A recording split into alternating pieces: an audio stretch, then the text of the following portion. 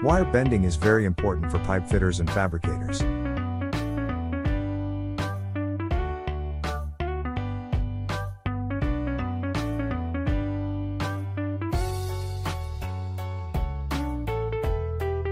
This is our isometric drawing.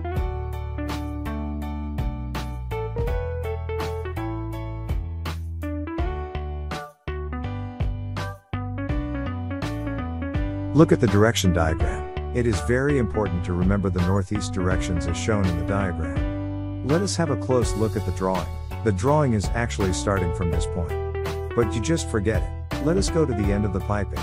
Here the pipe is vertical. From the top of the pipe, the direction of the piping turns 90 degree to the east.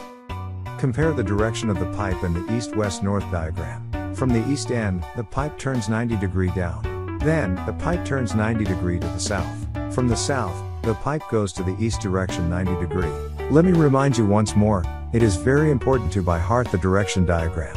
Follow the steps, carefully. Roughly divide and mark the wire to 5 segments, that is equal to the number of piping segments. Hold the wire, in the east-west direction horizontally.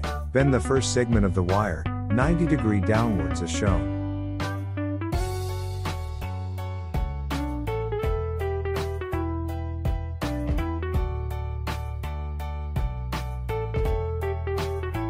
Bend the last three segments to the down direction as shown.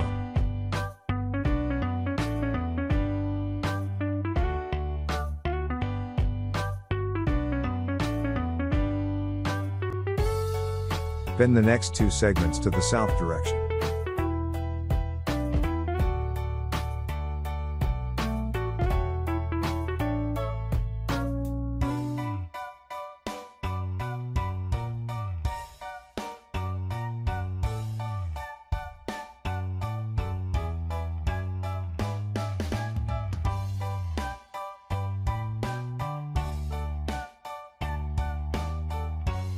The last segment goes to the east direction.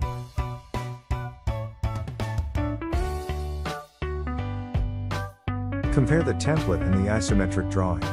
Practice again and again. If you want the drawing, please check in my Facebook link.